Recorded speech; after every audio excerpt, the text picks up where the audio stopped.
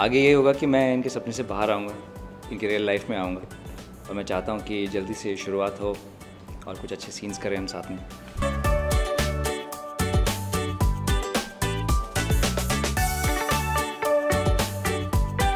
अरे बहुत कुछ मिलने वाला है अभी तो। है मुझे? हाँ। ना लिया ना? हाँ। पक्का? पक्का।